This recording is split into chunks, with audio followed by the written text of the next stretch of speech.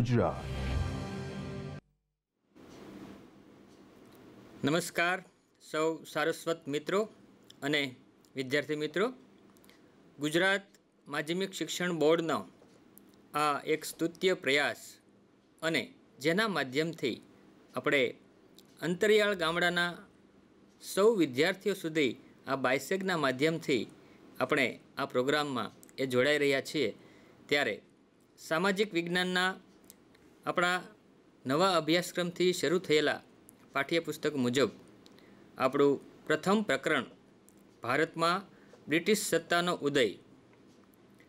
આ પ્રકરણને આજે આપણે અભ્યાસમાં આગળ જઈએ અને કઈ રીતે અંગ્રેજો છે એમણે ભારતની અંદર એ શાસન કરવામાં એ સફળતા પ્રાપ્ત કરી.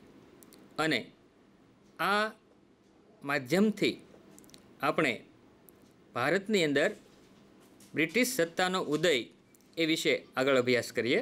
પ્રાચીન સમયથી જ ભારત છે એ તેના આર્થિક, સાંસ્કૃતિક અને આધ્યાત્મિક વારસાને કારણે સમગ્ર વિશ્વમાં એક અજોડ સ્થાન ધરાવે છે. ભારતના સાંસ્કૃતિક વારસા અને આર્થિક સમૃદ્ધિના કારણે જ ભારતની અંદર વિશ્વના ઘણા દેશોની પ્રજા એ ભારતમાં આવી. કારણ કે પ્રાચીન સમયનો આપણો જે વારસો છે, આપણી જે આર્થિક સમૃદ્ધિ છે, એનાથી આકર્ષાઈને યુરોપની પ્રજાઓ સતત ભારતની અંદર વેપાર કરવાના ઈરાદાથી આવતી ગઈ અને ભારત તરફ એમનું આકર્ષણ છે એ વધતું ગયું. ભારતના મરી મસાલા, તેજાના, મલમલ, રેશમી કાપડ ગળી, આ બધાની યુરોપના દેશોની અંદર ખૂબ જ માંગ રહેતી હતી. અને આપણા રેશમી કાપડ ગળી અને ગરમ મસાલા વગર યુરોપની પ્રજાને ચાલે તેમ પણ ન હતું. ભારત અને યુરોપની વચ્ચે વ્યાપાર છે જળ અને જમીન માર્ગે થતો હતો. અને આપ નકશામાં આપ જોઈ શકો છો કે ભારતથી યુરોપનો એ માર્ગ છે, એ માર્ગમાં ઈરાન, ઈરાક, તુર્કસ્તાન થઈને એનું વેપારનું જે મુખ્ય કેન્દ્ર છે એ ઇસ્તંબુલ હતું. અને તેને આપણે કોન્સ્ટેન્ટિનોપલ તરીકે પણ એ ઓળખીએ છીએ. આ કોન્સ્ટેન્ટિનોપલ એ ઈસવીસન ચૌદસો ને ત્રેપનમાં તુર્ક મુસ્લિમોએ એ જીતી લીધું. અને તેના કારણે આ ભારત અને યુરોપ વચ્ચેનો જે માર્ગ છે, એ વેપાર માર્ગ છે, બંધ થઈ ગયો. અને આ વેપાર માર્ગ બંધ થવાથી યુરોપવાસીઓ માટે આ ગરમ મસાલા, મરી મસાલા અને રેશમી કાપડ આ વગર ચાલે તેમ ન હતું. યુરોપવાસીઓને નવો જળમાર્ગ શોધવાની જરૂરિયાત ઊભી થઈ. કેમ કે કોન્સ્ટન્ટિનોપલનું પતન થવાથી જૂનો જળ અને જમીન માર્ગ છે, એ માર્ગ. એ માર્ગે થતો વેપાર એ બંધ થઈ ગયો અને ભારતમાંથી જે ચીજવસ્તુઓ આવતી હતી, આ ચીજવસ્તુઓ એને મોંઘી મળવા માંડી અને એ વસ્તુની અછતને કારણે યુરોપવાસીઓ માટે નવો જળમાર્ગ શોધવાની એ જરૂરિયાત ઊભી થઈ. યુરોપવાસીઓને જળમાર્ગ શોધવાની જરૂરિયાત થઈ એ જ વખતે યુરોપની અંદર એ ભૌગોલિક શોધખોળનો, એ સંશોધનનો એક નવા યુગનો પ્રારંભ થયો. અને યુરોપવાસીઓએ ભારત આવવાના નવા જળમાર્ગની એ શોધ શરૂ કરી. પોર્ટુગલના રાજા પ્રિન્સ હેનરીની પ્રેરણા, પ્રોત્સાહન અને આર્થિક સહાયથી યુરોપના સાહસવીરોએ નવા જળમાર્ગની શોધના પ્રયત્ન શરૂ કર્યા. Bartholomew Dias cape of good hope ભૂશીરની શોધ કરી. આપણે એ નકશામાં જોઈ શકીએ છીએ કે યુરોપથી શરૂ કરીને એ આફ્રિકા ખંડના કિનારા કિનારે આવી અને કેપ ઓફ ગુડ હોપ સુધી એ પહોંચી અને ત્યાંથી એ પરત યુરોપ જવા એ રવાના થઈ ગયો. અને તેથી જ ભવિષ્યમાં સારી આશાની આધારે એ સ્થળનું નામ કેપ ઓફ ગુડ હોપ એ આપવામાં આવ્યું હતું. ક્રિસ્ટોફર કોલમ્બસે સ્પેનના રાજાની આર્થિક મદદથી નવો જળમાર્ગ શોધવાની એ સાહસ યાત્રા આરંભી. યુરોપની અંદર એ વખતે પોર્ટુગલ અને સ્પેન આ બે મુખ્ય રાજાઓ એ પોતાનું શાસન છે ચલાવી રહ્યા હતા અને પોપ દ્વારા આ બંને રાજાઓને, સ્પેન અને પોર્ટુગલને એવો આદેશ આપવામાં આવ્યો કે પૂર્વ અને પશ્ચિમ તરફ એ નવા જળમાર્ગ શોધવાની એ શરૂઆત કરવામાં આવે. ચૌદસો ને બાણુંમાં ક્રિસ્ટોફર કોલમ્બસ છે એ પોતાનો પ્રવાસ છે એ શરૂ કરી અને અત્યારે જે વેસ્ટ ઇન્ડિઝ ટાપુઓ આવેલા છે, ત્યાં એની સાહસ યાત્રા છે અટકી ગઈ. ઇટાલીનો નિવાસી ક્રિસ્ટોફર કોલમ્બસ વેસ્ટ ઇન્ડિઝ પહોંચી ગયો અને જીવનભર એ એવું જ સમજતો હતો કે તેણે જે નવો પ્રદેશ શોધ્યો છે એ ભારત છે. અને મૃત્યુ પર્યંત ભારત આવવાના જળમાર્ગ શોધ્યાના વિશ્વાસ ધરાવતા કોલમ્બસે એક નવો જ પ્રદેશ શોધ્યો હતો. આ સ્પષ્ટતા અમેરિકો વેસ્પુચીએ કરી હોવાથી આ પ્રદેશ અમેરિકા તરીકે ઓળખાયો. ઈસવીસન ચૌદસો અઠ્ઠાણુંમાં પોર્ટુગીઝ નાવિક વાસ્કો દ ગામાએ ભારત આવવાના જળમાર્ગની શોધ કરી. યુરોપથી કેપ ઓફ ગુડ હોપ અને ત્યાંથી આફ્રિકાના કિનારા કિનારે આગળ વધતા મોઝામ્બિક આવી અને ભારતીય ખલાસીની મદદથી તે મોઝામ્બિકથી ભારતના પશ્ચિમ કિનારે આવેલા કાલિકટ બંદરે પહોંચ્યો. અને કાલિકટની અંદર તે વખતે સામુદ્રિકનું શાસન હતું અને જામોરીને તે કોલમ્બસને આવકાર આપ્યો અને પોતાના રાજ્યમાં વેપાર કરવાની છૂટ આપી. આ નવા જળમાર્ગની શોધ થયા પછી ભારતની અંદર યુરોપીય પ્રજાનું આગમન છે એ શરૂ થયું. અને આપણે ખરેખર તો એમ જ કહેવું જોઈએ કે અંગ્રેજોનું આગમન થયું અને અંગ્રેજોના આગમનથી ભારતની અંદર અંગ્રેજોએ જે વેપારી મથકની સ્થાપના કરી એ વિશે આપણે આગળ જોઈશું. ભારત આવવાના જળમાર્ગની શોધ થયા બાદ ભારતમાં વેપાર કરવા સૌપ્રથમ પોર્ટુગીઝો ફિરંગી પ્રજા છે આવી હતી. અને સો વર્ષના સમયમાં પોર્ટુગીઝોએ દીવ, દમણ, ગોવા, કોચીન, મલાક્કા વગેરે પ્રદેશો પોતાના નિયંત્રણમાં લાવી દીધા. આપણે આ બાબતનો એક વીડિયો જોઈએ, જેથી કરીને આપણને તે સમયનું ભારત કેવું હતું અને પોર્ટુગીઝો છે એણે ભારતના આ દરિયાઈ સીમા ઉપર કેવી રીતે અંકુશ પ્રાપ્ત કર્યો હતો એ આપણે આ વિડીયોના માધ્યમથી સમજીએ.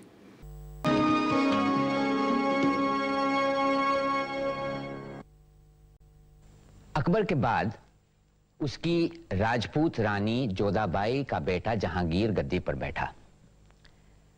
उसने कुछ हद तक अपने पिता की परंपरा को आगे बढ़ाया, लेकिन शायद उसे राजकाज से ज़्यादा दिलचस्पी थी चित्रकारी और कला में, फूलों और बगीचों में। उस समय हिंदुस्तान का आर्थिक पसमंदर क्या था? हिंदुस्तान एक बहुत तरक्की याफ्ता मुल्क था। जहाँ का बना माल बाहरी मुल्कों को निर्यात होता था। हिंदुस्तान का सर्राफा व्यापार सारे मुल्क में फैला हुआ था। बड़े कारोबारी घरों या सर्राफों की जारी की गई हुंडियाँ हर जगह मकबूल थीं। सारे हिंदुस्तान भर में भी और ईरान, काबुल, हेरात, ताशकंद और मध्य एशिया के दूसरे ममालिक में भी। पूंजीवादी सरमाया पनप रहा था। और गुमाश्ताओं, दलालों, बिचौलियों और आढ़तियों का एक पूरा सिलसिला वजूद में आया। परदेसी जांबाज सैयाह शुरू में हिंदुस्तान इसीलिए आए कि हिंदुस्तान का तैयार शुदा माल बहुत उम्दा माना जाता था और उसकी खूब सारी खपत भी थी। अकबर के दरबार में पुर्तगाली पादरियों पर नज़र करम थी। और पश्चिमी देशों से अकबर का संपर्क पुर्तगालियों के ज़रिए था। उस वक्त अंग्रेज़ों का पता भी नहीं था। लेकिन इंग्लिस्तान के जेम्स प्रथम का सफीर टॉमस रो 1615 ईस्वी में किसी तरह जहांगीर के दरबार में जा पहुँचा। बादशाह से उसने कई सहूलियतें हासिल की और ईस्ट इंडिया कंपनी के व्यापार की नींव इस तरह डाली गई। धंधे वाले हैं। किसी का जहाज तैयार है तो किसी का माल तैयार है और जहाज और माल नहीं पहुंचा तो खपत कहां से होगी હવે વાત સમજ્યા વાત કેટલી ગંભીર છે તે हमें पुर्तगालियों के साथ और सख्ती से पेश आना चाहिए हम जितना दबेंगे वो हमें और दबाने की कोशिश करेंगे उनके इजाजत नामे के बगैर हमारे जहाज चल नहीं सकते हमें जबरदस्ती अपने जहाजों को उनके बंदरगाह पे रोकना पड़ता है जहां उनका राज है ताकि वो हमसे चुंगी वसूल कर सकें और तो और हमारे जो मुसलमान भाई हैं जिनके साथ हमारे लाल सागर में व्यापार हैं उन पे भी वो बाधाएं डालते हैं अब बताइए इस तरह की हालात और ज्यादती हम लोग कब तक बर्दाश्त कर सकते हैं बताइए જ્યાં સુધી આ પોર્તુગાલી અમારા સમુદ્રના માલિક છે और हमारे पास उनके मुकाबले की ताकत नहीं है ત્યાં સુધી हम असली बात से हट रहे हैं हम पुर्तगाली को क्या समझते हैं क्या नहीं ये एक अलग बात है लेकिन ये सच है कि पुर्तगाली लोगों का यहाँ से लेकर लाल सागर और मलक्का तक हमारे व्यापार से संबंध है हमारे कहने से वो हटने वाले तो नहीं है। अरे हमारे भाई। ए जय श्री कृष्ण सिन्योर। ओ सेठ शांतिदास आओ बैठो। हम सोचते हैं कि चौल में एक नई चुंगी चौकी खोल दें ताकि व्यापारियों को चुंगी भरने में आसान पड़े। ये तो बड़ा अच्छा विचार है सीनियर। मगर आप लोग चुंगी बचाने के लिए कोई दूसरा रास्ता निकाल लेंगे है ना? तमे लोग अगर व्यापारियों को ज़बरदस्ती बंदरगाह में केवल चुंगी के लिए रोकने लगो तो बेचारे व्यापारी लोग अपने बचावने माटे कुछ तो करेगा ही ना। आपके लाभ में हमारा हिस्सा आटे में नमक का बराबर है। एक अच्छा व्यापारी ऐसा नहीं सोचता सिनियोर। ये भी ठीक है। वैसे तो मेरे ख्याल में गुजराती लोग दुनिया में सबसे अच्छा व्यापारी हैं। आप तो मुझे शर्मिंदा कर रहे हैं सिनियोर। नहीं मैं चाहता हूँ कि गुजरात सबसे बड़ी मंडी बन जाए और इसका व्यापार लाल सागर और मलक्का तक फैल जाए। मुझे याद है एक बार जब हमारा जहाज़ मलक्का के पास एक खाड़ी में फंस गया था तो एक गुजराती जहाजी ने हमें बचाया था। कमाल का आदमी था वो। मगर मुझे एक बात समझ में नहीं आता है कि आप गुजराती लोग अपने जहाजों की रक्षा खुद क्यों नहीं कर सकते हैं? अरे सिनियोर हमें व्यापारी चाहिए कहीं लड़वैया नहीं हो नहीं असल बात यह है कि तुम्हारा मुगल बादशाह इस पर ध्यान नहीं देता।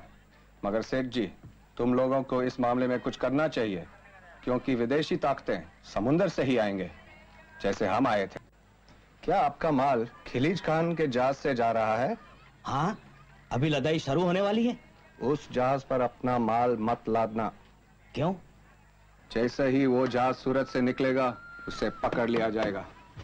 पर क्यों? क्योंकि उसके पास हमारा इजाजतनामा नहीं है। मगर बिना इजाज़त नामे के जहाज़ जा क्यों रहा है? सुना है खिलीज खान ने बादशाह के सामने दावा किया है कि उसे पुर्तगीज इजाजतनामा की जरूरत नहीं है हम साबित करेंगे कि उसके बिना कोई भी जहाज हिल नहीं सकता પોર્ટુગીઝોને વેપારમાં મળેલી સફળતાથી પ્રેરાઈને હોલેન્ડના ડચ લોકો વલંદાઓ અને ડેનમાર્કની ડેનિશ પ્રજા પણ ભારતમાં વેપાર કરવા માટે આવી આ નકશામાં આપ જોઈ શકો છો આપણું ભારત અને યુરોપના જે મુખ્ય દેશો છે, જે ભારતમાં વેપાર કરવા માટે આવ્યા હતા. Portugal, Spain, France, England, Denmark. યુરોપના આ દેશો ભારતની અંદર એ પોર્ટુગીઝોના પગલે પગલે ભારત તરફ વેપાર કરવા માટે એ આકર્ષાયા અને ભારત સાથે એ પોતાના વેપારને વધુને વધુ પ્રોત્સાહન આપવા માટે એ ભારતમાં વેપાર કરવા માટે થઈને એ આવી પહોંચ્યા. ઇંગ્લેન્ડના વેપારીઓએ ભારત સાથે વેપાર કરવા માટે ઈસ્ટ ઇન્ડિયા કંપનીની સ્થાપના કરી. ઈસવીસન સોળસોમાં ઇંગ્લેન્ડની રાણી ઇલિઝાબેથે ઈસ્ટ ઇન્ડિયા કંપનીને પૂર્વના દેશો સાથે વેપાર કરવાનો એ પરવાનો આપ્યો. ઈસવીસન સોળસોમાં ઇલિઝાબેથે વેપાર કરવાનો પરવાનો આવતા ઈસવીસન સોળસો ને આઠમાં કંપનીનું પ્રથમ વહાણ એ સુરત મુકામે કેપ્ટન વિલિયમ્સની આગેવાની નીચળ, કેપ્ટન વિલિયમ્સની આગેવાની નીચે એ સુરત આવ્યું. અને સુરતમાં તે વખતે ફિરંગીઓના વર્ચસ્વ હતું અને અંગ્રેજોનું આગમન થતાં ફિરંગીઓએ એનો વિરોધ કર્યો અને એ વિરોધના કારણે તેમને વેપાર કરવાની પરવાનગી મળી શકી નહીં. આખરે ઈસવીસન સોળસો ને તેરમાં ઈસ્ટ ઇન્ડિયા કંપનીને મુઘલ બાદશાહ જહાંગીર તરફથી વેપાર કરવાનો પરવાનો મળતા સુરતમાં બ્રિટિશ ઈસ્ટ ઇન્ડિયા કંપનીની પ્રથમ વેપારી કોઠી, વેપારી મથક એ સ્થાપવામાં આવ્યું. આપણે આ અંગેનો એક વીડિયો જોઈએ કે કઈ રીતે મુઘલ બાદશાહ જહાંગીરના દરબારમાં આવીને સર ટોમસ રોયે એ જહાંગીર પાસેથી ભારતમાં વેપાર કરવાનો એ પરવાનો મેળવે છે. એનો વીડિયો જોઈએ.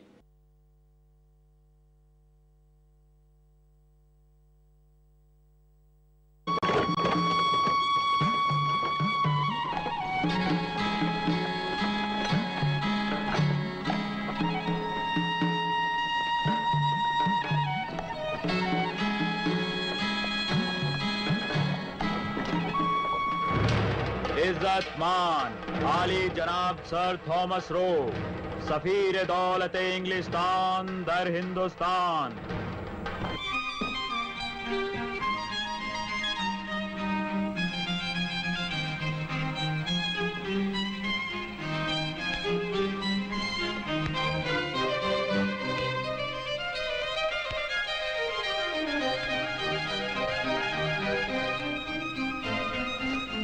माँ बदौलत इंग्लिस्तान के सफीर का इस्तकबाल करते हैं हम शाह इंग्लिस्तान को अपने भाई के समान समझते हैं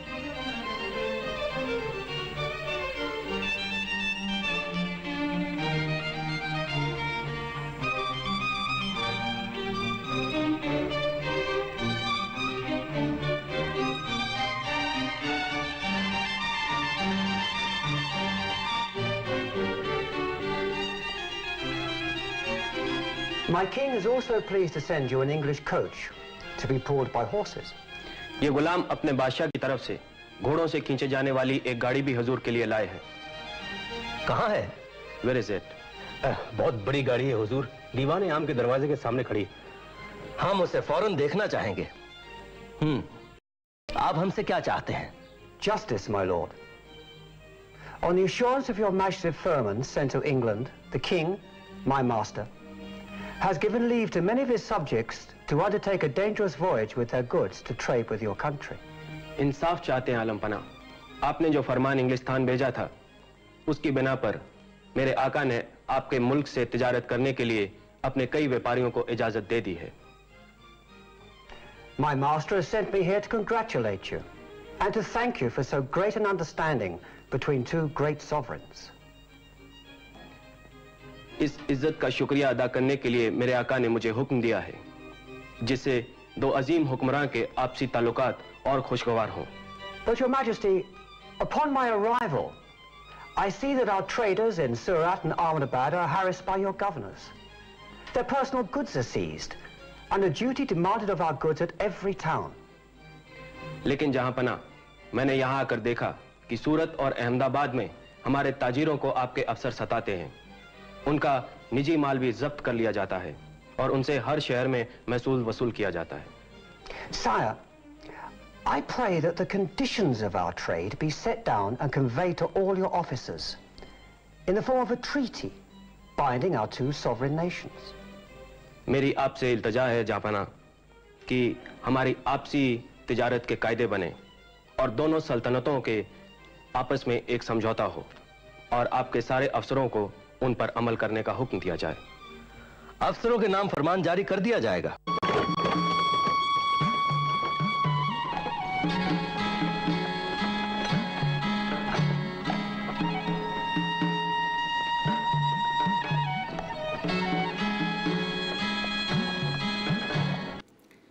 મુઘલ બાદશાહ જહાંગીરના દરબારમાં સર ટોમસ રો એ આપણે ચિત્રમાં જોઈએ છીએ તો ટોમસ રોએ જહાંગીરના દરબારમાં આવીને એ ભારતની અંદર વેપાર કરવા માટે પરવાનો છે, મેળવે છે. શરૂઆતના છ વર્ષોમાં કંપનીએ સુરત, ભરૂચ, અમદાવાદમાં વેપારી મથકો સ્થાપ્યા અને આ પ્રદેશોમાં મરાઠી સત્તાનું પ્રભુત્વ વધતા કંપનીને જોખમ દેખાયું કે ભારતના પશ્ચિમ કિનારે રહેવાથી ભવિષ્યમાં આપણા વેપાર ઉદ્યોગને એ નુકસાન સહન કરવું પડે છે. એટલે તેઓએ દક્ષિણ અને પૂર્વ દિશામાં આગળ વધ્યા, જ્યાં તેમણે આંધ્રપ્રદેશની અંદર મછલીપટ્ટમ, ચેન્નઈની અંદર સેન્ટ જ્યોર્જ અને કોલકાતામાં ફોર્ટ વિલિયમ મુકામે એ વેપારી કોઠીઓ સ્થાપી.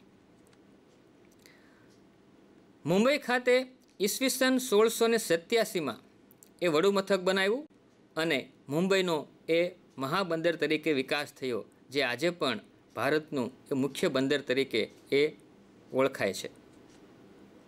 ઈસવીસન સોળસો ને અડસઠમાં ભારતમાં વેપાર કરવા માટે ફ્રેન્ચ ઈસ્ટ ઇન્ડિયા કંપનીનું આગમન થાય છે. જેણે સમય જતાં માહે કરાઈકલ પોંડિચેરી, અત્યારનું પુડુચેરી, ચંદ્રનગર, મછલીપટ્ટમ આ પ્રદેશોમાં ફ્રેન્ચોએ વેપારી મથકો સ્થાપ્યા. અઢારમી સદીમાં અંગ્રેજો અને ફ્રેન્ચો વિશ્વભરમાં પોતાની સત્તા સ્થાપવા અને સંસ્થાનો મેળવવા સતત સક્રિય હતા. ભારતમાં સત્તરસો છેતાલીસથી સત્તરસો ત્રેસઠ દરમિયાન આ બંને બ્રિટિશ ઈસ્ટ ઇન્ડિયા કંપની અને ફ્રેન્ચ ઈસ્ટ ઇન્ડિયા કંપની વચ્ચે સત્તા સ્થાપવા માટે ત્રણ કર્ણાટક વિગ્રહો થયા. અને આ કર્ણાટક વિગ્રહમાં ફ્રેન્ચ ઈસ્ટ ઇન્ડિયા કંપનીનો પરાજય હતા. બ્રિટિશ ઈસ્ટ ઇન્ડિયા કંપનીનો રાજ્ય વિસ્તારનો માર્ગ એ મોકળો થયો. આમ, સત્તા સંઘર્ષના અંતે પોર્ટુગીઝો ફિરંગીઓ પાસે દીવ, દમણ અને ગોવા રહ્યા. જ્યારે ફ્રેન્ચો પાસે ચંદ્રનગર, માહે કરાઈકલ પોંડિચેરી જેવા પ્રદેશો રહ્યા. ડચ પ્રજા કાયમને માટે ભારતમાંથી વિદાય પામી. અંગ્રેજોનું આગમન કઈ રીતે થયું એ આપણે જોઈએ. પ્લાસીનું યુદ્ધ. બંગાળમાં સિરાજ ઉદ દૌલાનું શાસન હતું. આ સમયમાં બ્રિટિશ ઈસ્ટિયા કંપનીએ નવાબની પરવાનગી લીધા વિના આ સમયમાં બ્રિટિશ ઈસ્ટ ઇન્ડિયા કંપનીએ નવાબની પરવાનગી લીધા વિના કોલકાતામાં રક્ષણના બહાને વેપારી કોઠીને ફરતે કિલ્લેબંધી કરી.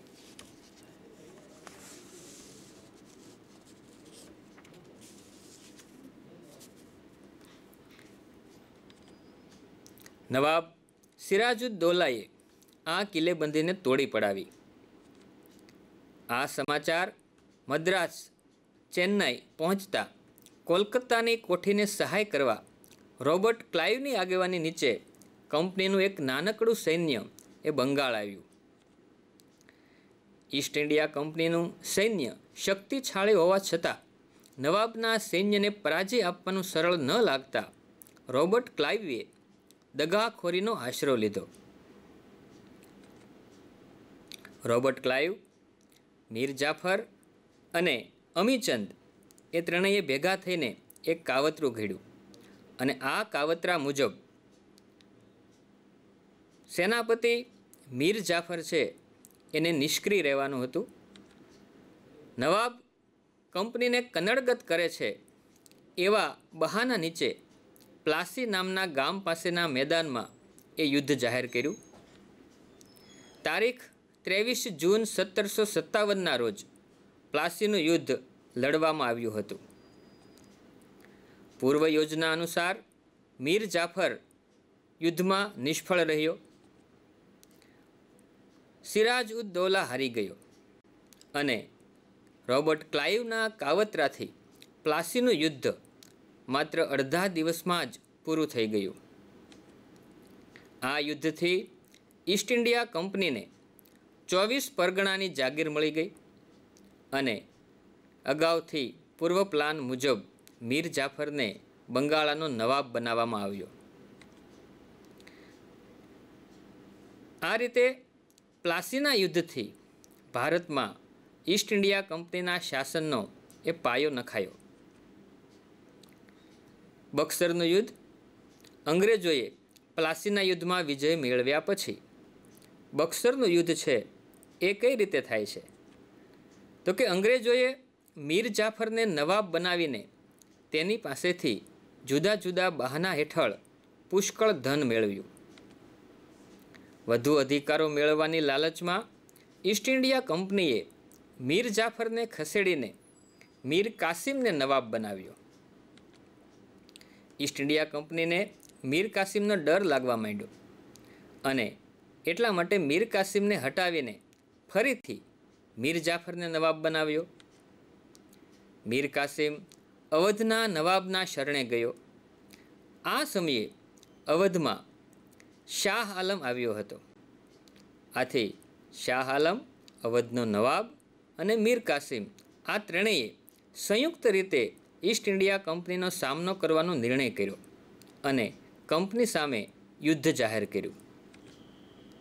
બક્સર મુકામે સંયુક્ત સેનાની સામે ઈસ્ટ ઇન્ડિયા કંપનીએ તારીખ બાવીસ ઓક્ટોબર સત્તરસો ચોસઠના રોજ યુદ્ધ કર્યું, જેમાં સંયુક્ત સેનાનો પરાજય થયો અને ઈસ્ટ ઇન્ડિયા કંપનીને બંગાળ, બિહાર અને ઓરિસ્સાની એ દીવાની સત્તા મળી. આ રીતે ભારતમાં એક વેપાર કરવા આવેલી કંપની એ શાસન કરતી કંપની બની ગઈ. ભારતમાં બ્રિટિશ સત્તાનો ઉદય અંગ્રેજોએ બંગાળ, બિહાર અને ઓરિસ્સામાં દીવાની સત્તા પ્રાપ્ત કરતા ભારતની અંદર કંપની શાસનની શરૂઆત થઈ અને ધીમે ધીમે આ ઈસ્ટ ઇન્ડિયા કંપની દ્વારા ભારતનો એક એક પ્રાંત, એક એક વિસ્તાર એ કઈ રીતે કંપનીમાં ભેળવવામાં આવ્યો તેના વિશે આગળ જોઈએ. ઈસવીસન સત્તરસો ને તોતેરમાં અંગ્રેજ સરકારે નિયામક ધારો પસાર કર્યો. આ નિયામક ધારાના કારણે વોરન હેસ્ટિંગ્સ ભારતનો પ્રથમ ગવર્નર જનરલ બન્યો. ઈસવીસન સત્તરસો તોતેરથી સત્તરસો પંચ્યાસીના સમયગાળા દરમિયાન વોરન હેસ્ટિંગ્સ ભારતનો પ્રથમ ગવર્નર જનરલ બને છે. વોરન હેસ્ટિંગના સમયમાં મરાઠાઓ સાથે પ્રથમ મરાઠા વિગ્રહ અને મૈસૂરના હૈદર અલી સાથે દ્વિતીય મૈસૂર વિગ્રહ થયો. મહારાષ્ટ્ર મરાઠા પ્રાંત અને આ મરાઠાની સાથે થયેલા યુદ્ધને મરાઠા વિગ્રહ તરીકે ઓળખવામાં આવે છે. અને કર્ણાટકના મૈસૂર વિસ્તારના એ હૈદર અલી અને ટીપુ સુલતાનની સાથે થયેલા યુદ્ધને એ મૈસૂર વિગ્રહ તરીકે ઓળખવામાં આવે છે. વોરન એસ્ટિંગના સમયમાં પ્રથમ મરાઠા વિગ્રહ મરાઠાઓ સાથે થાય છે અને હૈદર અલી સાથે બીજો મૈસૂર વિગ્રહ થયો હતો. વોરન એસ્ટિંગ્સ અને હૈદર અલી. વોરન એસ્ટિંગ્સ બાદ કોર્નવોલિસ એ ગવર્નર જનરલ તરીકે આવ્યો. કોર્નવોલિસના સમયમાં મૈસૂરનો વાઘ ટીપુ સુલતાન સાથે એ ત્રીજો મૈસૂર વિગ્રહ થયો. ટીપુ સુલતાન ખૂબ જ શક્તિશાળી હતો અને તેણે પોતાના રાજ્ય વિસ્તારમાં અંગ્રેજો સામે લડત લડવા માટે એ ફ્રેન્ચોને આશરો આપ્યો હતો. એટલે યુરોપીય પ્રજાઓમાં ફ્રેન્ચ અને અંગ્રેજોની વચ્ચે જે યુરોપમાં એ સંઘર્ષ ચાલતો હતો, એના, એનો લાભ એ ટીપુ સુલતાન મેળવી અને અંગ્રેજોનો પ્રતિકાર કરવાની એ તૈયારી ફ્રેન્ચોની મદદથી કરતો હતો. મરાઠા અને નિજામની મદદથી ટીપુ સુલતાનને હરાવી અને તેની સાથે એ સંધિ કરવાની ફરજ પાડવામાં આવી. કોર્નવોલિસ પછી સર જ્હોન શોર એ ગવર્નર જનરલ બન્યો. તેમણે તટસ્થતાની નીતિ અપનાવી હતી. આ સમયમાં અંગ્રેજોની પ્રતિષ્ઠા એ ઓછી થઈ રહી હતી અને મરાઠાઓ છે એ વધુ શક્તિશાળી થઈ રહ્યા હતા. એટલે સર જ્હોન શોર પછી આવેલા વેલેસલી, જે ભારતનો, ઈસ્ટ ઇન્ડિયા કંપનીનો સત્તરસો અઠ્ઠાણુંથી અઢારસો ને પાંચ દરમિયાન એ ગવર્નર જનરલ બન્યો હતો. આ વેલેસ્લી છે. એની પાસે કંપનીને સર્વોપરી બનાવવાની જવાબદારી હવે તેના પર આવે છે. વેલેસ્લીએ ભારતની અંદર સહાયકારી યોજના દાખલ કરી. આ સહાયકારી યોજનામાં સહાયકારી યોજના છે એ દરેક રાજાઓ સમક્ષ વેલેસ્લીએ રજૂ કરી અને આ સહાયકારી યોજના મુજબ એની કેટલીક શરતો ખાસ ધ્યાન રાખવા જેવી છે. કંપની સરકાર તાલીમ પામેલું સૈન્ય યોજના સ્વીકારનાર જે રાજ્ય છે, એને કંપનીનું લશ્કર છે આપશે. અને આ લશ્કર, આ સૈન્ય એ રાજાને પોતાના રાજ્યની આંતરિક સલામતી માટે અને બીજા રાજ્યના કોઈ આક્રમણ સામે એનું રક્ષણ કરશે. તેના બદલામાં આ યોજના સ્વીકારનાર રાજ્યએ અથવા તો એ રાજાએ એનું લશ્કરીનો ખર્ચ એ કંપની સરકારને એટલો આપવું પડશે.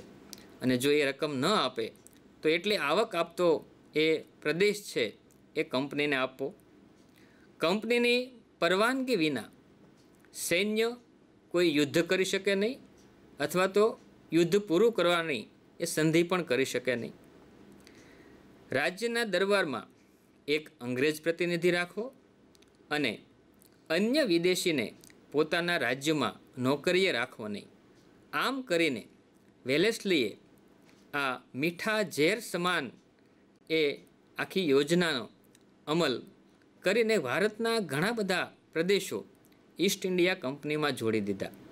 કોઈ વિદેશીમાં નોકરીએ ન રાખવાની એ શરત રાખીને યુરોપીય પ્રજાઓ જે વેપાર કરવા માટે ભારતમાં આવી એનો સામનો એણે આ રીતે કર્યો.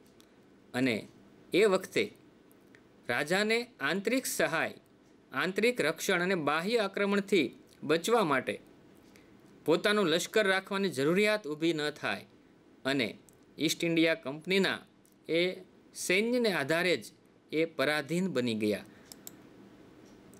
નિજામ અવધ, ગાયકવાડ, સિંધિયા, ભોંસલે, હોલકર આ બધાએ આ યોજના અપનાવી લીધી. ટીપુ સુલતાને આ યોજનાનો સ્વીકાર કરવાનો ઇનકાર કર્યો. એટલે અંગ્રેજોએ નિઝામનો સાથ મેળવીને મૈસૂર પર આક્રમણ કર્યું. આ ચોથા મૈસૂર વિગ્રહમાં ટીપુ સુલતાન અંગ્રેજો સામે લડતા લડતા એ મૃત્યુ પામ્યો.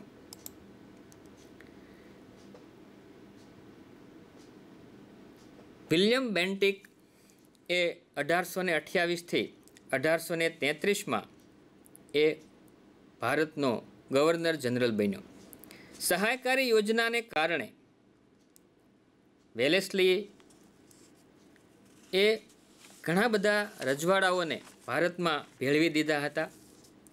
પણ વિલિયમ બેન્ટિક છે એ એક તટસ્થ ગવર્નર તરીકે ઓળખાય છે. વિલિયમ બેન્ટિક એણે સામ્રાજ્યવાદી નીતિને બદલે એણે ઉદાર મતવાદી નીતિ છે એ અમલમાં મૂકી અને ભારતમાં આવીને ભારતના લોકોની એ એક સારી એવી ઓળખ ઊભી કરી અને કંપની સાથે એ એક તાદાત્મ કેળવાય, એક વિશ્વાસ કેળવાય એવા પ્રકારની નીતિ અપનાવી. ત્યારબાદ ભારતના ગવર્નર જનરલ તરીકે ડેલ હાઉસી આવે છે. ડેલ હાઉસી અઢારસો ને અડતાલીસથી અઢારસો ને છપ્પનના સમયગાળા દરમિયાન ભારતના ગવર્નર જનરલ તરીકે એ રહ્યા હતા. ડેલ હાઉસીએ સામ્રાજ્યવાદી નીતિને પોષવા માટે, કંપનીનો રાજ્ય વિસ્તાર વધારવા માટે જીત, જપ્તી અને ખાલસા નીતિ અપનાવી. જીત, જપ્તી અને ખાલસા નીતિમાં તેમણે યુદ્ધ દ્વારા પંજાબ, પેગુ એટલે કે નીચલું બર્મા, રાજા અપુત્ર અવસાન પામતા સતારા જૈતપુર સંબલપુર, ઉદયપુર, મધ્યપ્રદેશમાં, ઝાંસી, બઘાત અને નાગપુરના એ રાજ્યોને ખાલસા કર્યા. ગેરવહીવટના બહાના નીચે અવધને ખાલસા કર્યું. કરજની ઉઘરાણી તળે નિજામનો વરાળનો પ્રાંત છે એ કંપનીના શાસનમાં ભેળવી દીધો. નામ માત્રની સત્તાનો અંત લાવીને કર્ણાટક અને તાંજોર જેવા રાજ્યો છે, એને ઈસ્ટ ઇન્ડિયા કંપનીમાં એ ભેળવી દેવામાં આવ્યા. આમ, જીત, જપ્તી અને ખાલસા નીતિ દ્વારા એ ઈસ્ટ ઇન્ડિયા કંપનીનો જે વિસ્તાર છે, એ ખૂબ વધી ગયો. સત્તરસો ને સત્તાવનના પ્લાસીના યુદ્ધથી ભારતમાં ઈસ્ટ ઇન્ડિયા કંપનીનું એ શાસન શરૂ થયું. અને સો વર્ષના સમયમાં ભારતનો, ભારતની અંદર આ કંપનીનો વિસ્તાર અને સત્તા ખૂબ જ વધી ગયા. અને એના અસંતોષનો સામનો અઢારસો સત્તાવનના ભારતના પ્રથમ સ્વાતંત્ર્ય સંગ્રામ સ્વરૂપે એ બહાર આવ્યો. ડેલ હાઉસેની ખાલસા નીતિને કારણે ભારતની અંદર કંપની શાસનનો વિસ્તાર છે ખૂબ જ વધી ગયો. ડેલ હાઉસે સામ્રાજ્યવાદી હતો. પણ સાથે સાથે એ સુધારાવાદી પણ હતો. અને તેના સમયમાં ભારતમાં રેલવેની શરૂઆત પણ તેમણે કરી. ઈસવીસન અઢારસો ને ત્રેપનમાં મુંબઈ અને થાણા વચ્ચે એ રેલવેની શરૂઆત કરી. આપણે જોઈએ તો ઔદ્યોગિક ક્રાંતિ દરમિયાન ઇંગ્લેન્ડમાં અઢારસો ને ત્રીસમાં માન્ચેસ્ટર અને લિવરપુલની વચ્ચે પ્રથમ રેલવેની શરૂઆત થઈ. અને ભારતમાં અઢારસો ને ત્રેપનમાં રેલવેની શરૂઆત થઈ. તો આ ઉપરથી આપણને એટલો તો ખ્યાલ આવી જ જાય કે ઇંગ્લેન્ડમાં જે ઔદ્યોગિક ક્રાંતિની શરૂઆત થઈ, એ શરૂઆતનો લાભ ભારતને તરત જ મળતો થયો. અને અંગ્રેજોના આગમનને કારણે ઔદ્યોગિક ક્રાંતિની જે નવી નવી શોધખોળો થતી ગઈ, એ શોધખોળોનો લાભ એ ભારતને મળતો થયો. આ ઉપરાંત ભારત અને ઇંગ્લેન્ડ વચ્ચે તાર વ્યવહાર શરૂ કર્યો. અંગ્રેજોએ ભારતમાં આ સુવિધા આપવાની શરૂઆત એ ભારતના ભલા માટે નહોતી કરી. તેમને તો ભારતમાં પોતાનું શાસન વ્યવસ્થિત કઈ રીતે ચાલે એ માટે થઈને એમણે આ સુવિધાઓ ઊભી કરી હતી. મુંબઈથી થાણા વચ્ચે રેલવેની શરૂઆત કરી તો એનો એનો હેતુ, એનો વેપાર કઈ રીતે સુવિધાજનક બને અને ઇંગ્લેન્ડ સાથેનો જે તાર વ્યવહાર છે, એ તાર વ્યવહારથી પણ એ આગબોટ દ્વારા એ પત્ર વ્યવહાર ખૂબ જ મોડો મળે. એના કરતાં તાત્કાલિક સંપર્ક કરવા માટે એ તાર વ્યવહારની શરૂઆત કરી અને આ તાર વ્યવહારને કારણે અને આ રેલવેને કારણે જ અંગ્રેજો સામે જે અસંતોષ ઊભો થતો હતો, એને ખાળવામાં તેઓ તાત્કાલિક પગલાં ભરવામાં એ સફળ પણ થયા. ડેલ હાઉસે જાહેર બાંધકામ ખાતાની પણ શરૂઆત કરેલી. અત્યાર સુધી એ જાહેર મકાન બાંધવાની હોય, જાહેર રસ્તાઓ બાંધવાના હોય, તો અંગ્રેજોએ ઇંગ્લેન્ડની જેમ જ એ જાહેર બાંધકામ ખાતાની એ વ્યવસ્થા કરી. આ ઉપરાંત અંગ્રેજી કેળવણીની વ્યવસ્થા ઊભી કરવામાં આવી. અંગ્રેજો ભારતમાં આવ્યા તો ઇંગ્લેન્ડથી કંપનીના અધિકારીઓને લાવવા અને ભારતમાં શાસન કરવું એ થોડુંક વધારે ખર્ચાળ અને મુશ્કેલ બનતું હોય છે. અને અંગ્રેજોને તેના નીચેના માણસો એને જે કર્મચારીઓ રાખવા છે એ ભારતમાંથી જ મળી રહી. એટલા માટે ભારતમાં અંગ્રેજી શાળાઓની શરૂઆત કરી અને એ અંગ્રેજી જાણકાર વર્ગને એ નોકરીએ રાખીને ભારતમાં પોતાનું શાસન છે એ વધારે મજબૂત બનાવ્યું. આ ઉપરાંત વિધવા વિવાહને પુનર્લગ્નની છૂટ આપવામાં આવી અને બાળ લગ્ન પ્રતિબંધક ધારા દ્વારા એણે સામાજિક સુધારાઓ પણ કર્યા. સત્તરસો સત્તાવનથી અઢારસો ને સત્તાવનના સો વર્ષના સમયમાં ભારતમાં કંપનીનું શાસન એ ખૂબ જ વધી ગયું. આપણે આ કંપની શાસનની ભારત ઉપર શું અસર થઈ એ વિશે પણ વિચારીએ. તો ઈસ્ટ ઇન્ડિયા કંપનીના કારણે ભારતની જે વેપાર ધંધા છે એની ઉપર શું અસર થઈ? તો એને આપણે કંપની શાસનની આર્થિક અસરો એ મુદ્દાનો આપણે અભ્યાસ કરી. આપણે કંપની શાસનનું જ્યારે સર્વેયું કરી રહ્યા છીએ ત્યારે અંગ્રેજો ભારતમાં આવ્યા અને વેપાર કરતાં કરતાં ભારતમાં એ શાસન કરવા માંડ્યા. તો ઈસ્ટ ઇન્ડિયા કંપની ભારતમાં વેપાર કરવા આવી હતી અને કોઈ પણ ભાગે, કોઈ પણ ભોગે વધુને વધુ નફો મળે અને ભારતમાંથી વધુને વધુ શોષણ કરીને કંપનીનું કેમ વધારે નફો મળે એ જ એમનો એકમાત્ર હેતુ હતો. અંગ્રેજો જ્યારે ભારતમાં આવ્યા, ત્યારે ભારતનો વેપાર ખૂબ જ સમૃદ્ધ હતો. ભારતના ગામડાઓ સ્વાવલંબી હતા. ભારતના ખેડૂતો, કારીગરો અને હુન્નરો એ ખૂબ જ સારી રીતે ચાલતા હતા. અંગ્રેજોના આગમનના કારણે ઈસ્ટ ઇન્ડિયા કંપનીએ એ ભારતમાંથી કાચો માલ ઇંગ્લેન્ડ મોકલવા માટે અને ઇંગ્લેન્ડમાં તૈયાર થતો માલ ભારતમાં વેચવા માટેની એ બજાર બની જાય એવા પ્રકારની નીતિ રીતિ અપનાવી અને બંગાળનો સુતરાવ કાપડનો ઉદ્યોગ, ભારતની ખેતી, આ બધું પડી ભાંગ્યું. સુતરાવ કાપડ ઉદ્યોગને પ્રોત્સાહન ન મળે એટલા માટે બંગાળના એ કાપડ ઉદ્યોગ ઉપર એ જકાત નાખી અને આ માલ કેમ મોંઘો મળે એવા પ્રકારની એ યોજના શરૂ કરી. બંગાળ એ વખતે રેશમી કાપડ, શણ, મલમલ આ બધાનું ઉત્પાદન કરતું હતું. પણ કંપની શાસનના સો વર્ષ દરમિયાન એ ભારત છે એ કાચો માલ ઇંગ્લેન્ડ મોકલતું અને ઇંગ્લેન્ડનો તૈયાર માલનો વપરાશ કરતું એ એ રીતના એકમ બની ગયું. ભારતના વેપાર અને ઉદ્યોગો છે એ પડી ભાંગ્યા. કંપનીની અન્યાયી મહેસૂલ નીતિને કારણે ભારતનો ખેડૂત છે એ પાયમાલ બની ગયો. મહેસૂલને કારણે ખેડૂત છે દેવાદાર બની ગયો. અંગ્રેજ સરકારે ઇંગ્લેન્ડના ઉદ્યોગોને વિકસાવવા માટે ભારતના ગૃહ ઉદ્યોગોને એ તોડી નાખ્યા. ભારતના હુનર ઉદ્યોગને કચડી નાખવામાં આવ્યો અને એવી અન્યાયી રીત રસમો એણે લીધી કે આ રીત રસમોને કારણે ભારતના જે કારીગરો છે એ પોતાનો વ્યવસાય બંધ કરવા માંડ્યા. શા માટે આવું થયું? તો કે બંગાળના જે કારીગરો છે, એમની સાથે કંપનીના ખાનગી વેપાર કરવા માંડ્યા હતા અને કંપનીના વેપારમાં એ બંગાળના કાપડ વણનારા કારીગરોની સાથે એવા કોન્ટ્રાક્ટ કરવામાં આવતા હતા કે અમુક નિશ્ચિત મુદતમાં અમુક મીટર કાપડ છે એ વણવું પડે.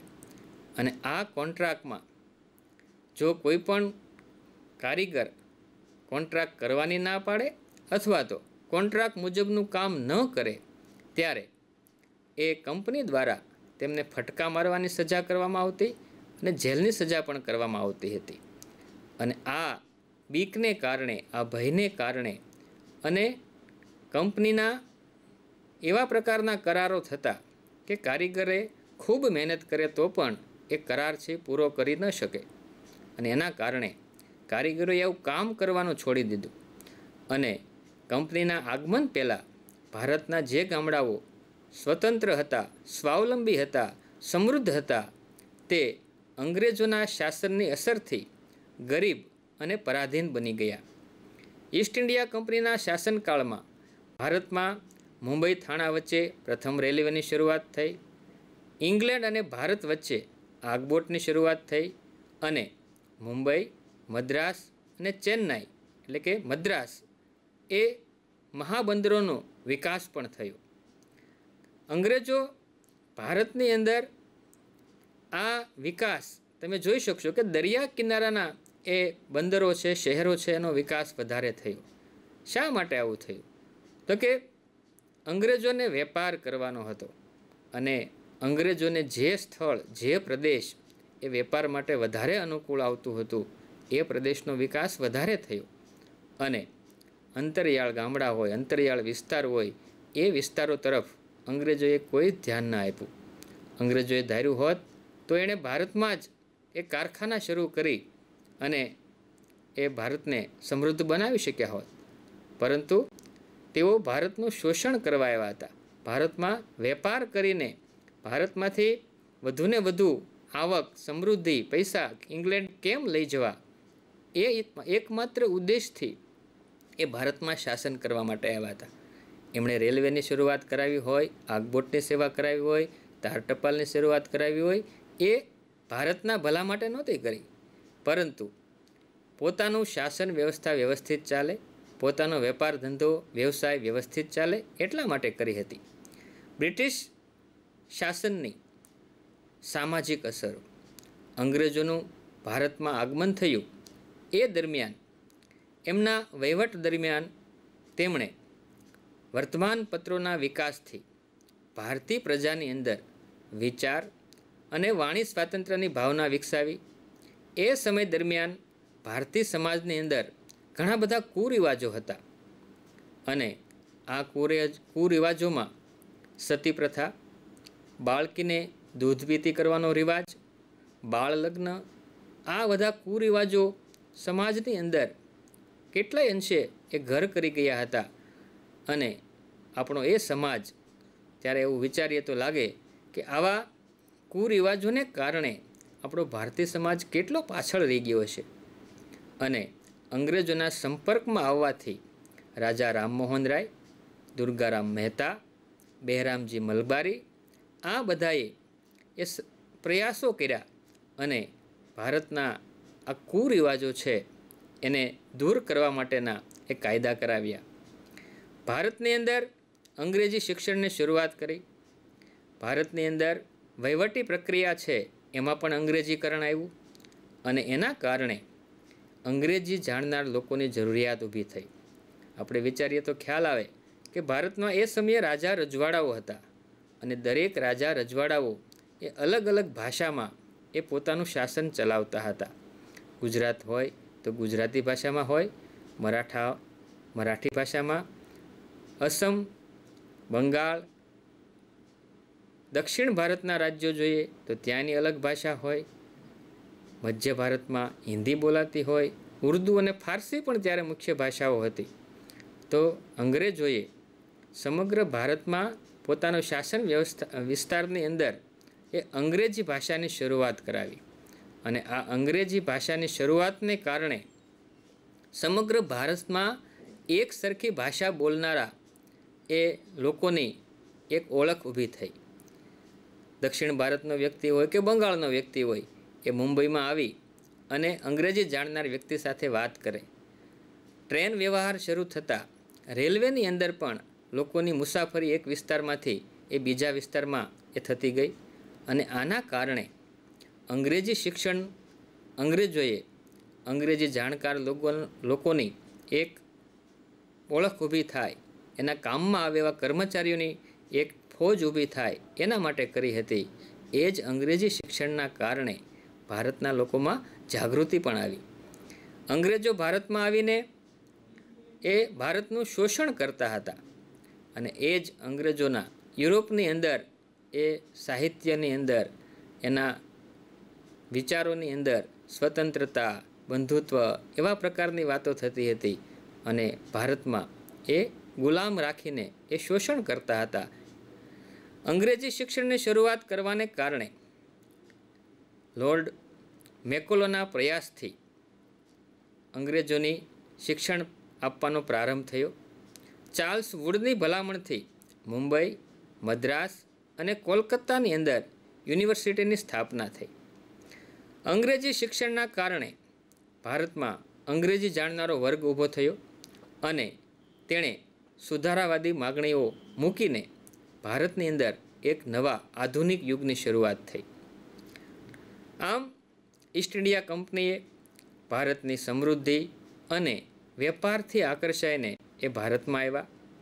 ભારતની અંદર આવીને યુરોપની અન્ય જે પ્રજાઓ છે પોર્ટુગીઝો ફ્રેન્ચો, એમને સીમિત વિસ્તારમાં જ એ સ્થાયી કરી દીધા અને મોટાભાગના વિસ્તાર ઉપર એ અંગ્રેજી શાસનની શરૂઆત થઈ.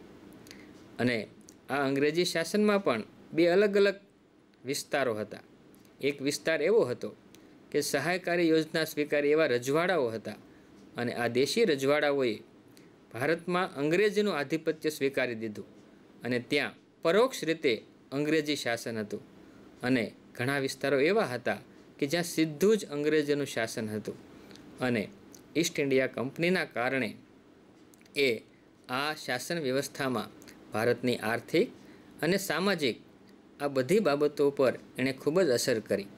ભારતની રાજકીય, આર્થિક, સામાજિક અને સાંસ્કૃતિક ક્ષેત્રે એની સારી અને નરસી અસરો થઈ છે. કંપનીએ ભારતના ભોગે ઇંગ્લેન્ડને સમૃદ્ધ કરવાની નીતિ અપનાવી અને ભારતમાં આવીને પોતાના લાભ માટે સંસ્થાગત સુધારાઓ પણ કર્યા અને આ સંસ્થાગત સુધારાઓને કારણે ભારતને પરોક્ષ રીતે લાભ પણ થયો. અને અંગ્રેજી જે શાસન વ્યવસ્થા આવી, અંગ્રેજી જે શિક્ષણ આવ્યું અને એના કારણે ભવિષ્યમાં અંગ્રેજો સામે લડવાની તાકાત પણ એ ભારતના લોકોએ ઊભી કરી. એટલે અંગ્રેજોનું આગમનથી ભારતને, ભારતનું શોષણ ખૂબ થયું. ભારતના જે ગામડા સ્વાવલંબી હતા, સમૃદ્ધ હતા, એનું પતન થઈ ગયું. ગૃહ ઉદ્યોગો એ બંધ થઈ ગયા. ખેતી પડી ભાંગી અને સમાજની અંદર એક મધ્યમ વર્ગ, શિક્ષિત વર્ગ અસ્તિત્વમાં આવ્યો. આમ ઈસ્ટ ઇન્ડિયા કંપનીને કારણે ભારતની અંદર એ ઘણા બધા ફેરફારો થયા. મિત્રો, આપણે આ પ્રકરણની અંદર કંપની શાસનનો વિસ્તાર કઈ રીતે વધ્યો એ આપણે એ ઘણું બધી એની માહિતી મેળવી છે. અસ્તુ.